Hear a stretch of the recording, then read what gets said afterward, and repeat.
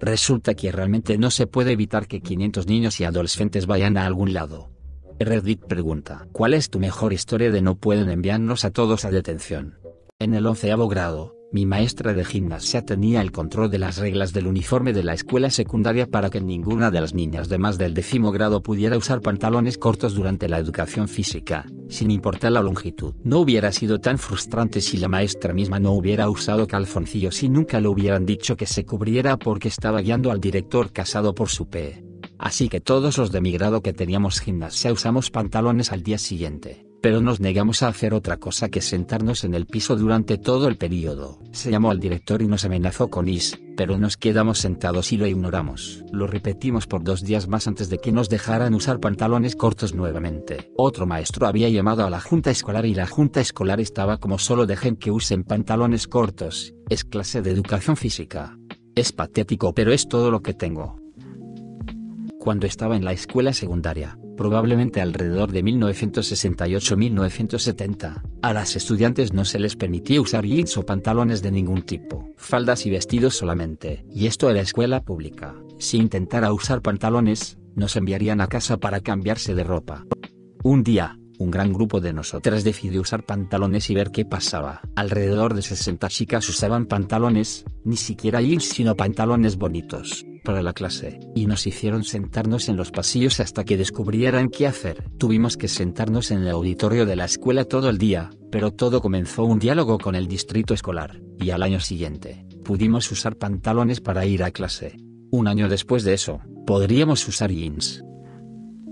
Cuando estaba en la escuela secundaria, un estudiante se acercó al frente de la clase, quitó el reloj de la pared y lo adelantó un minuto después de cuando se supone que sonaría la campana. Toda la clase lo observó haciendo esto y comenzó a distraer a la maestra para que ella no se diera cuenta. Regresa a su asiento con calma y levanta la mano. Disculpe, señorita maestra de español, ¿sí? ¿Podemos irnos ahora? Creo que escuché la campana, oh Dios mío. Todos vayan. Toda la clase salió corriendo por la puerta y comenzó a pirarla por los pasillos y hacia el estacionamiento. El subdirector se hizo cargo de la clase por el resto de la semana. Tres minutos después de que el timbre señalara el comienzo de la clase, mi maestro de biología cerraba la puerta del aula para que las personas que llegaban tarde no pudieran colarse. Si llegabas después de los tres minutos, tendrías que esperar en el pasillo hasta que decidieras si ya habías sufrido suficiente vergüenza.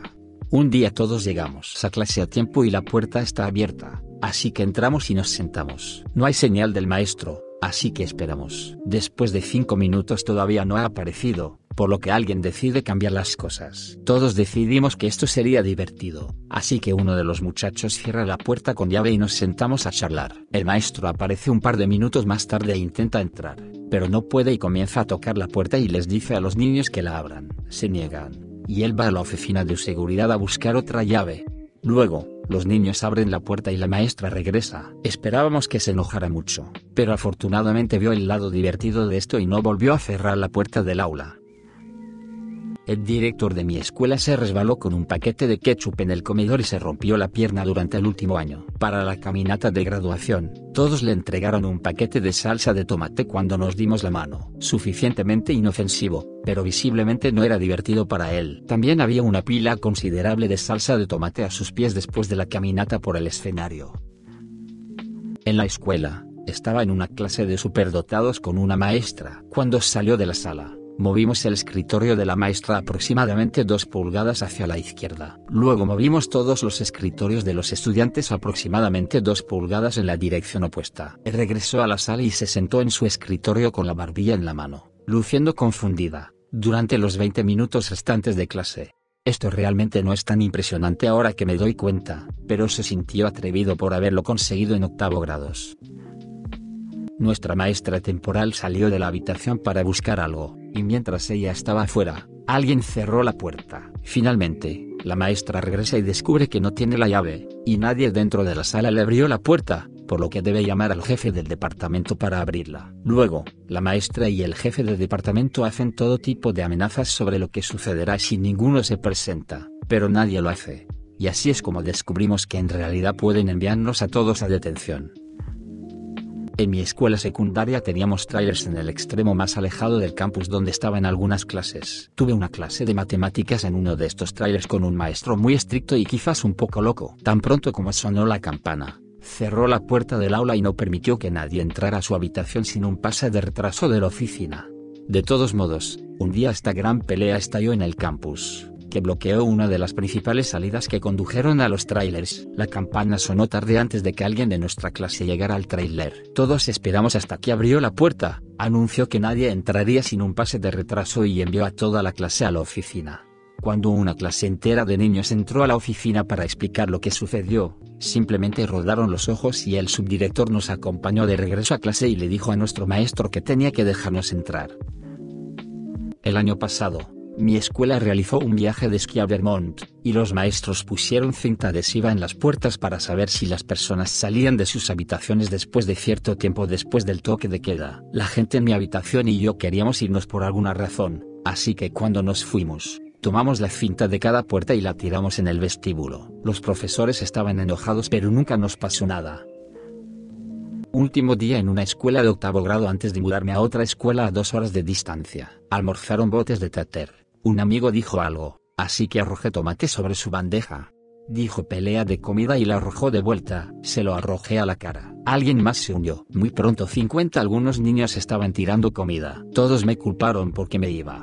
Cuando llegué a mi nueva escuela, les habían dicho lo pasado y el segundo de ahí me llamaron a la oficina del director donde me amenazaron con una suspensión si algo así sucedía ahí. Convertimos el estacionamiento de estudiantes en una playa. Un grupo de nosotros reunimos dinero para conseguir unos cuantos camiones de arena baratos y los tiramos al estacionamiento. Pusimos piscinas para niños y redes de voleibol y festejamos hasta que los policías nos dijeron que teníamos que irnos a casa. No es una historia de la escuela, es una historia del ejército. Estuve en entrenamiento básico en Fort Jackson durante los meses de otoño. Era el 31 de octubre y estábamos a solo un par de semanas de la graduación.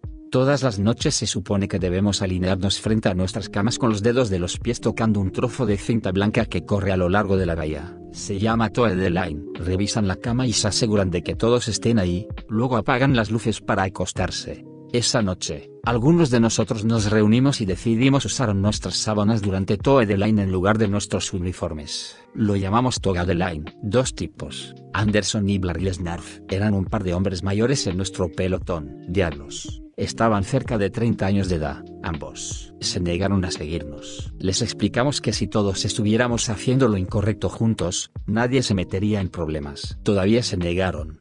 Así que 28 de nosotros nos alineamos en togas y dos muchachos en el uniforme apropiado. El sargento entra mirando su portapapeles y sin prestarnos atención y simplemente comienza a gritar nombres. Alrededor de cinco nombres. Él levanta la vista, nos mira a todos y grita, ¿qué está pasando aquí? Luego, el sargento se da vuelta y mira a esos dos muchachos y dice dije ¿qué está pasando aquí? ¿Por qué no están ustedes dos en uniforme? Les ordenan bajar para hacer flexiones y el resto de nosotros bajamos con ellos. El sargento dice, ¿qué están haciendo el resto de ustedes? Gritamos. Si ellos caen, nosotros caeremos. Pensé que el sargento iba a llorar por un momento. Lo único que extraño del ejército es la camaradería. En la escuela secundaria teníamos una gran tradición de usar disfraces los viernes de Halloween. En mi último año prohibieron los disfraces y dijeron que cualquier estudiante que se encuentre con un disfraz sería enviado a detención. Como no estaba de acuerdo, fui como mi personaje de GTA un vaquero con un fuerte acento ruso. Por cierto, soy ruso. Un amigo fue como Marty McFly. En resumen, todos iban con ropa normal como disfraces. Fuimos vestidos de las siguientes formas. Asesino del hacha, piloto de combate, Sudaka, motociclista, gangsta, Jason Brody con tatuaje, y más. Nadie fue enviado a detención. Un maestro intentó hacerlo pero argumentamos que esto es lo que siempre usamos. ¿Cierto para Marty McFly? 20 de marzo de 2003. Yo era un estudiante de intercambio extranjero en Alemania como estudiante de séptimo grados. Alemania en su conjunto estaba extremadamente en contra de que Bush comenzara una guerra con Irak, por lo que a principios de marzo, comenzó a circular la escuela de que si la guerra realmente comenzara, todos saldrían en protesta. Llegó el 20 de marzo, y los alumnos de los grados 11 y 12 hicieron sonar la alarma. Toda la escuela fluyó en una gigantesca multitud. Intentaron encerrarnos, pero resulta que realmente no se puede evitar que 500 niños y adolescentes vayan a algún lado, por lo que las puertas se mantuvieron abiertas por la fuerza y la gente saltó desde las ventanas del primer piso. Todos tomaron el transporte público hacia el centro de la ciudad, donde nuestra escuela se reunió con otros tres cuerpos escolares y marchamos por las calles. Recuerdo que se suponía que mi clase tenía música ese día, así que todos sacamos nuestras grabadoras y las hicimos sonar lo más fuerte y fuera de tono posible. Como estudiante de intercambio estadounidense, definitivamente fue un poco incómodo abandonar la escuela para protestar contra mi propio país. Pero definitivamente no quería convertirme en un paria social al ser uno de los únicos en quedarme atrás, y personalmente también estaba en contra de la guerra, así que lo superé bastante rápido y disfruté la aventura y un día sin clases. La protesta terminó más de dos o tres horas después, y todos simplemente se fueron a casa, a pesar de que la escuela había terminado hace mucho tiempo. Al día siguiente, algunos maestros nos hablaron al respecto, pero eso fue todo. Quién sabe, tal vez los instigadores recibieron castigos más grandes, pero nosotros, los alumnos de séptimo grado, nos dejaron quietos. Wow, llegaste hasta aquí. Gracias por entonarte con Radio TV. Si el video te gustó deja tu like y suscríbete. Siga, arroba Radio TV. Hasta la próxima.